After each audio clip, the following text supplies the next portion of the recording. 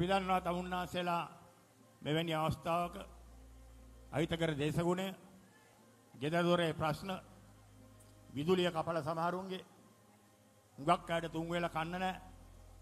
රණයුරුවෙක් විශ්‍රාම ගියාමත් ඊටාම දුෂ්කර ජීවිතයක් තමයි ගත කරන්නේ. ඒ සියලු බාධක මැද්දේ මේ ස්ථානයට ඇවිල්ලා තියෙනවා රට ගැන හිතලා. රණවිරුවන් අතීතයේ වැඩ කරේ අපි නිල ඇඳුම් අඳිනකොට පාට පක්ෂ ભેදයකින් තොරවයි අපේ තිබුණ එකම දේශපාලනයේ කොළ පාට නිල ඇඳුම. එව නැත්නම් නිල් පාට, ලා නිල් පාට, දුමුරු පාට ඒවා තමයි අපේ තිබුණ දේශපාලනය. ඒ දේශපාලනයේ තිබුණේ රට, ජාති, ආගම ආරක්ෂා කර ගැනීමේ ඉලක්කය පමණයි.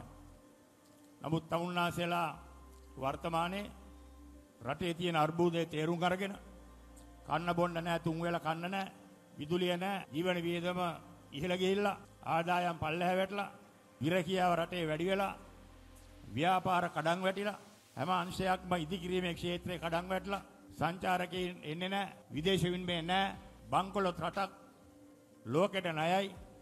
ණය බේර ගන්න බැරුව දුකින් කාලය ගෙවන ඉදිරි දැක්මක් නැතුව කාලය ගත කරන රටක්. ඒකෙන් ගොඩ ගන්න අවශ්‍ය නිසායි මා හිතනවා තමුන්නාසෙලා මේ ස්ථානයේ පැමිණලා තියෙන්නේ. ඒතකොට තමුන්නාසෙලා දන්නවා මේ රට කොච්චර රමණීය රටක්ද? කොච්චර අභිමානයක් තිබුණද? අපිට කොච්චර ගෞරවනීය අතීතයක් ඈත අතීතයක් තිබුණාද? නමුත් මේ රට ක්‍රමානුකූලව මං විශ්වාස කරනවා නිදාස ලැබුණදා ඉඳලා ක්‍රමානුකූලව මේ රට කඩාගෙන වැටුණා. අද මේ රට ජීවත් වෙන්න බැරි තත්යකට පත් වෙලා තියෙනවා. මම හමුදාට බැඳෙනකොට මේ රටේ ඩොලර් එක රුපියල් 4යි අද වෙනකොට අවුරුදු 50කට අධික කාලයක් ගිහිල්ලා ඩොලර් එක රුපියල් 400ටත් ගියා. දැන් ආපහු මම හිතන්නේ 335ට විතර වැටිලා තියෙනවා. තුන් වේල කෑව මිනිස්සු. අපේ දෙමව්පියෝ බැංකු ණය ගත්තේ නැහැ. අපේ දෙමව්පියෝන්ට තිබුණේ මගේ දෙමව්පියෝ ගුරුවරු දෙන්නගේ ආදායම රුපියල් 700යි. කවදාවත් බැංකු ණයක් අරගෙන නැහැ. කාගෙන්වත් අතමාරු අරගෙන නැහැ. කවදාවත් රත්තරන් බඩු උගස් තියලා නැහැ. ඒගොල්ලෝ ගෙයක් දොරක් හදාගෙන කාලා බීලා අපේ පවුලේ තුන් දෙනෙක් කොළඹ නවත්තලා උගන්වන්න තරම් ඒගොල්ලන්ට ශක්තියක් තිබුණා. නමුත් අද තමුන්නාන්සේලාට දරුවන්ට කන්න බොන්න බැරි රටක් උදා වෙලා තියෙනවා. දෙමව්පියෝ කන්න නැතුව ඉඳගෙන දරුවන්ට කන්න දෙනවා. තුන් වෙල කාපු කෑම වේල් දෙකයි. දෙවේල කාපු ඇට එක කෑම වේලයි. මේක තමයි මේ රටේ සමස්තයක් හැටියට 70ක් ජනතාව අද මුණ දීලා තියෙන ඉරණම. මේ රටේ මධ්‍යම පන්තියක් නැහැ දැන්.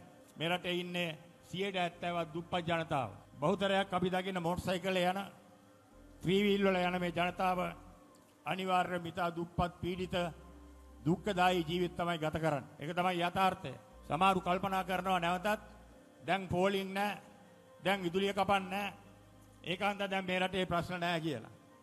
මේ රටේ මිනිස්සු හිතාගෙන ඉන්නේ දේශපාලනඥයෝ පාලකයෝ හිතාගෙන ඉන්නේ තමුන්නාසේලාට කොහොම හරි බතුයි පරිප්පුයි කාලා හරි ජීවත් වුණොත් එච්චරයි මේ රටේ පාලකීන්ට තියෙන යුතුයකම කියලා. ඔකේ දියුණු රටවල් ගත්තම මම රසවත් කතාවක් කියන්න ඕනේ. මම අහලා තියෙනවා යුරෝපේ මිනිස්සු අයිස්ක්‍රීම් කන්න එක දවසකට වියදම් කරන සල්ලි වලින් මුළු ලෝකෙටම මාසයක් කන්න දෙන්න පුළුවන්. ඇමරිකාවේ කාන්තාවෝ එක දවසකට රූපලාවන්‍යයට වියදම් කරන සල්ලි වලින් මුළු ලෝකෙටම මාස දෙකක් කන්න දෙන්න පුළුවන්. එතකොට අපිට හිතා ගන්න පුළුවන් ඒ රටවල් වල ජනතාව ජීවත් වෙන්නේ කොහමද?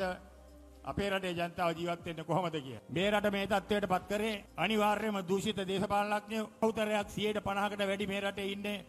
හැම මට්ටමම ගත්තත් දූෂණයට බර දූෂණය සඳහා දේශපාලනයට ආපු දේශපාලනඥයෝ. ඒ වගේම තමයි තව ඉන්නවා ඉතු 125ක් විතර දූෂණය නැති වුණත් මෙලෝ රහක් නැහැ රට ගැන දැක්මක් නැහැ ජනතාවගේ ප්‍රශ්න වලට සංවේදී නැහැ.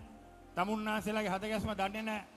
මම හිතනවා 125ක් හෝ ඊටත් අඩු ප්‍රමාණයක් තමයි දැක්මක් තියෙන ජනතාවට ආදරය කරන රටට ආදරය කරන කැපකිරීමක් කරන්න ඇඟේ ශක්තියක් තියෙන ඇඟෙන් ඒ හැඟීම ඇවිල්ලා තියෙන දේශපාලනඥයෝ මේ රටේ ඉන්නේ.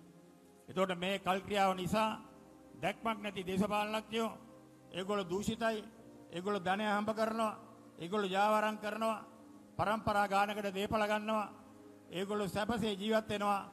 තමුන්නාසලාගේ ජීවිතේ එන්න එන්නම හැමදාම කඩා වැටෙනවා. තමුන්නාසලාගේ දෙමව්පියෝ සලකපු විදියට අද තමුන්නාසලාට තමුන්නාසලාගේ දරුවන්ට සලකන්න බෑ. හැබැයි මේකට මම ඇඟිල්ල දික් කරන්නේ තමුන්නාසලා පැත්තට. තමුන්නාසලා මේක වෙනස් කරන්න පෙළ හැදෙන්න ඕනේ. තමුන්නාසලා දෙන්න දෙයක් කාලේ ඉන්න පුරුදු වුණොත් තමුන්නාසලා ඕන දේශපාලනඥයෙක් දන්නවා අඳුනනවා ලෙන්ගතුයි මලගෙදරට එනවා ඒක නිසා ඡන්ද ගහලා බලය දෙන්න ආණ්ඩුපත් කරගන්න තමුන්නාසලා ඉදිරියට ක්‍රියා කරොත් අනිවාර්යයෙන්ම තමුන්නාසලා ඒ කරන්නේ තමුන්නාසලාගේ අනාගත પરම්පරාවට ද්‍රෝහිකමක්. ඒක තමුන්නාසලා තේරුම් ගන්න. තමුන්නාසලා දැන් මේ රට ණය කරලා තියෙනවා. තමුන්නාසලාගේ ආශිර්වාදයෙන් ආපු පාලකයෝ මේ රට ලෝකේ ණය කරලා තියෙනවා. ඒ ණය ගෙවන්න වෙන්නේ තමුන්නාසලාගේ දරුවන්ට සහ තමුන්නාසලාගේ මුණුබුරන්ට.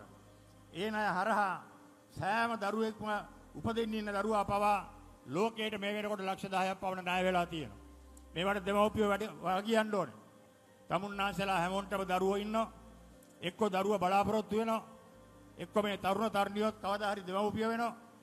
එතකොට තමුන්නාසලාගේ බලාපොරොත්තුව තියෙන්නේ තමුන්නාසලාගේ දරුවන්ට හොඳ ජීවිත ගොඩනගන්න. ඕන දෙමව්පියෙක්ගේ තියෙන එකම අභිලාෂය ඒකයි. හොඳ ජීවිත ගොඩනගනවා කියන්නේ හොඳ ප්‍රමිතියකින් යුක්ත ජීවිත ගොඩනගන්න. එහෙම ගොඩනගන්න ඕනේ නම් තමුන්නාසලා මේ රටේ ප්‍රමිතියක් තියෙන නායකයෝ තෝරා බේරා ගන්න ඉගෙන ගන්න.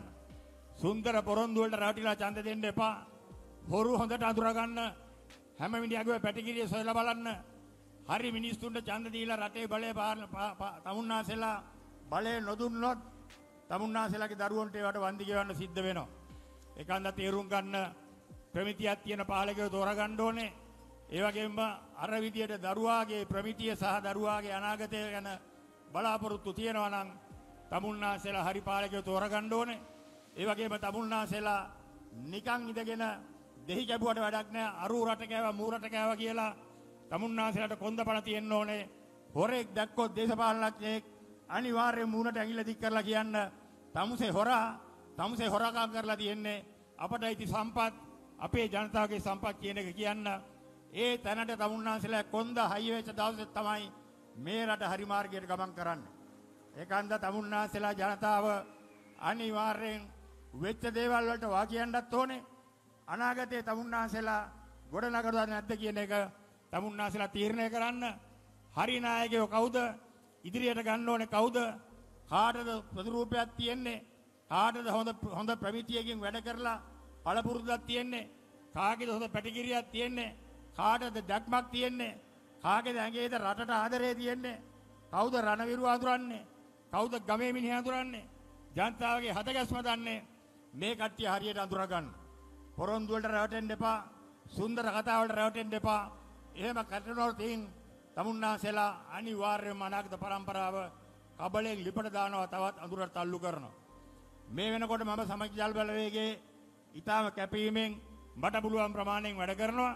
හැබැයි මම පක්ෂය දුන්නම හිර වෙලා මගේ ආසනයට හිර වෙලා මගේ මනාප ටික හදාගෙන මගේ දිස්ත්‍රික්කයට හිර වෙලා ඊළඟට පාර්ලිමේන්තුවට එන්න කොහොමද කියලා හිතාගෙන මම වැඩ කරන්නේ නැහැ. මම හදන්නේ මේ රටේ ජනතාව දැනුවත් කරලා තමුන්නාසලට අනාගතයක් ගොඩනගන්න. එතෙන්ට මේ රටේ ජනතාව තල්ලු කරන්න. තමුන්නාසල දන්නවා මේ රට අතීතයේ ඉතා රමණීය රටක්. මම යුද්ධ කාලේ හෙලිකොප්ටර් වලින් යනවා. දකුණට යනවා නැගෙනහිරට යනවා වවුනියාවට යනවා උතුරට යනවා. මේ රණවිරුව දන්නවා. හැම සුමානකම සෙනසුරාදට මම මොන තර්ජන තිබුණත් බුද්ධියංශ මොනවා කිව්වත් මම අනිවාර්යෙන් ඒ ගමන යනවා. ඒ හෙලිකොප්ටර් යන්නේ අඩි 5000න්. තමුන්නාසලා ගුවන් ගමනක් ගියොත් යන්නේ අඩි 30000න් අඩි 5000න් යනකොට මේ රටේ ලස්සන ඔක්කොම පේනවා. 30000න් යනකොට පේන්නේ මේක නිකන් කොළපාට පිට්ටනියක් වගේ. අඩි 5000න් යනකොට මේක වටේ තියෙන ලස්සන මූද මූදු වෙරළ රළ තෙත්වතු වනාන්තර කොළපාට අපේ ගංගාවල් දියෑලි කඳුකරය වනජීවීන් මේ සියලුම දේ ලස්සනට පේනවා. එතකොට හිතෙනවා මට ඒ කාලේ හිතුණා මේ රටේ අඟලක්වත් මගේ උඩට දෙන්නේ කවදාවත් ලබා ගන්න ඉඩ තියන්නේ නැහැ කියලා. මේ රටේ ලස්සන දැක්කම තමයි මේ රට රැක ගන්න ඕනේ මේකේ තියෙන වටිනාකම කොච්චරද කියලා තේරෙන්නේ. තමුන්නාසලා යුතුයකම ඉෂ්ට කරන්න ඕනේ. රට වෙනුවෙන් ඒ කැපවීම කරන්න ඕනේ. මේ රමණීය රට රැක ගන්න ඕනේ. එහෙමනම් තමුන්නාසලා හරි දේශපාලනයකින් මානසිකත්වයකින් බුද්ධිමත්ව රටේ අනාගතය ගැන තීන්දුව తీරන ගන්න. අද මේ රට සංවර්ධනය වෙලා නැහැ. අද මේ රට කඩන් වැටිච්ච වලව්වක් වගේ. වලව් කඩන් වැටුනම දොර ජනෙල් දඩබඩ ගගා හැපි හැපි තියෙනවා. බිත්ති වල වේපස් බැදිලා ෆවුන්ඩේෂන් එකට ඌර්මියෝ ගහලා පරාල වලට ගුල්ලෝ ගහලා වාලේ පැත්ත පහත් වෙලා අද මේ රට තනිකරම කඩං වැටිච්ච අතීතයේ ශ්‍රීභූතියෙන් තිබුණත් දැන් කඩං වැටලා තියෙන ජරාවුණ බලව්වක් වගේ. මොකද අපේ පාලකයෝ මේක නඩත්තු කරේ නැහැ. ඒකන්ද තමයි මෙච්චර රමණීය රටට සංචාරකයෙක් අපිට ගෙන්න ගන්න බැරි. අපේ රටේ එනවා සංචාරකයෝ චීන්නු ගත්තොත් 120ක් විතර අන්ත දුප්පත් ගොළු බෙල්ලෝ කටුස්සෝ ගැරන්ඩියෝ කන චීනු ටික මෙහෙට එනවා. සල්ලි තියෙන චීනු ටික ඔක්කොම යන්නේ මාළදෙවියන්ට. මාළදෙවියනේ ගංගා නැහැ, වනජීවීන් නැහැ, පොල් ගහක්වත් නැහැ. ඇලදොල නැහැ, මුකුත් නැහැ. ඒ වුණාට බහුතරයක් සංචාරකයෝ එහෙට යනවා. මොකද අපි මේක සංවර්ධනය කරන්න අපිට දැක්මක් තිබ්බේ නැහැ. යාල තියෙනවා බ්ලොක් 6ක් අවුරුදු 75ම පෙන්වන්නේ අද වෙනකඩොත් ඒ බ්ලොක් 6න් බ්ලොක් 3ක් විතරයි. ඉතුරු තුනක් සංවර්ධනය කරොත් මේක ලෝකයේ තියෙන හොඳම වන උද්‍යානයක් බවට පත් වෙනවා. ඒ ආකාරයට මේ රට අපි නඩත්තු කරලා නැහැ. තමුන්නාන්සේලා වාකීමක් ගන්න ඕනේ. මේවා වෙනුවෙන් කැප වෙන්න පුළුවන් ශක්තිමත් නායකයෝ තෝරා මේ රට මේ වෙනකොට ඊටාම භයානක මාෆියාවකින් දූෂිත ජාලයකින් වෙලාගෙන මේ රට තියෙන. මේ රටේ දේශපාලනඥයෝ ඉන්න බහුතරයක් දූෂිතයි. දූෂිත නැති එක මෙලෝ රහක් නැහැ. ඒගොල්ලෝ දේශපාලනයට ඇවිල්ලා තියෙන්නේ බහු ප්‍රභූවරු වෙන්න. තමුන්නාසෙලා රතිඤ්ඤපත්තු කරනවා. ජය වේවා කියලා කෑ ගහනවා. තෝරන් ගහනවා. බමල් මාල දානවා. ඒකට දේශපාලනයට ආපු කට්ටියකුත් ඉන්නවා. හැබැයි මෙලෝ රහක් නැහැ. ඉතින් ඒක හන්දා මේ රට අර මම කියපු තැනට ගෙනියන්න කැපකිරීම වෙලා නැහැ. මේ රට ශක්තිමත් කරලා නැහැ. ඒකන්ද මේ රට රමණීය රට අපි ශක්තිමත් කරන්න ඕනේ. ඒවට ශක්තිමත් නායකයෝ තමුන්නාසලා තෝරාගන්න අපේ පක්ෂය ගැන බය නැතුව කියන්න පුළුවන් වර්තමානයේ අනිත් පක්ෂයක සංසන්දනය කරාම තියෙන පිරිසිදුම පක්ෂය. හැබැයි මම දන්නවා අපටත් තව දුර ගමනක් යන්න තියෙනවා. අපේ වැරදිත් හදාගෙන අපි ශක්තිමත්ව හොඳ මානසිකත්වයකින් රට ගැන දැක්මක් ඇතුව මේ ගමන යන්න ඕනේ. එහෙම ගියොත් තමයි අපේ දරුවන්ට හොඳ අනාගතයක් ගොඩනගන්න පුළුවන්. තමුන්නාසලා රණවිරුව බහුතරයක් ඉන්නවා. තමුන්නාසලා මෙතනට ඇවිල්ලා තියෙන්නේ සංවිධායකට පෝස්ටර් ගහන්නවත් සංවිධායකට අත්පත්‍රිකාව බෙදන්නවත් නෙවෙයි. තමුන්නාසලා මේ වැදගත් පණිවිඩය සමාජය අතරට අරගෙන යන්න. තමුන්නාසලා ලේ දහඩිය කඳුළු හෙලලා ජීවිත පූජාවෙන් කැප වුණා නම් යම්කිසි කාල පරිච්ඡේදයක් තුල මේ රට ගොඩනගන්න ඉදිරියටත් පුළුවන් මට්ටමින් රණවිරුවන්ට ප්‍රශ්න තියෙනවා. මේ වගේ තැනකට එන්න යන්න උනත් මේ කාලේ අමාරුයි. මෝටර් සයිකලයට තෙල් ගහ ගන්නත් අමාරුයි. වාහනයක් හයරගෙන ගන්නත් අමාරුයි.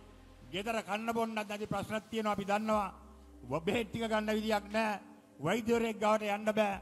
නමුත් තමුන්නාසෙලා මේ මතය රට පුරාට ගෙනියන්න. විශ්‍රාම කියපු රණවිරුව ඉන්නවා. මාත් එක්ක යුද බිමේ ඉඳලා විශ්‍රාම කියපු රණවිරුව මේ වෙනකොට ලක්ෂයකට වඩා ඉන්නවා. මාත් එක්ක රණබිමේ හිටපු රණවිරුවන්ගෙන් ලක්ෂ දෙකෙන් මේ වෙනකොට ඉතුරු වෙලා ඉන්න මම හිතන්නේ 75000 පමණ තමයි තාම සේවයේ ඉන්නේ. ඒ යුද හමුදාවේ පමණක් අනිත් හමුදාවලත් එහෙමයි. එවනම් තමුන්නාසෙලා මේ වෙනුවෙන් මානසිකත්වය ගොඩනගාගෙන රට වෙනුවෙන් කැප වෙන්න තීරණය කරන්න තමුන්නාසලාට ජය වේවා.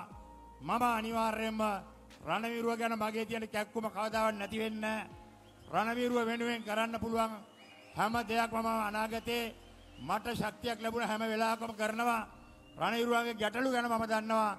තමුන්නාසලාට ජීවන පරදුවට තියලා ඒ යුද්ධ ජයග්‍රහණය කරනකොට තමුන්නාසලා තියන් හිටියේ මොන වගේ බලාපොරොත්තුද ඒ බලාපොරොත්තු කොච්චර කඩා වැටුණාද කියලා ඒ ගැන අපට අවබෝධයක් තියෙනවා.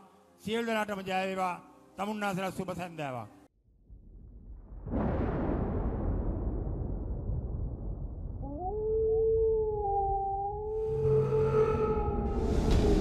නිවස් රෙපෝට වාරණයෙන් තොර අපක්ෂපාති වාර්තාකරණය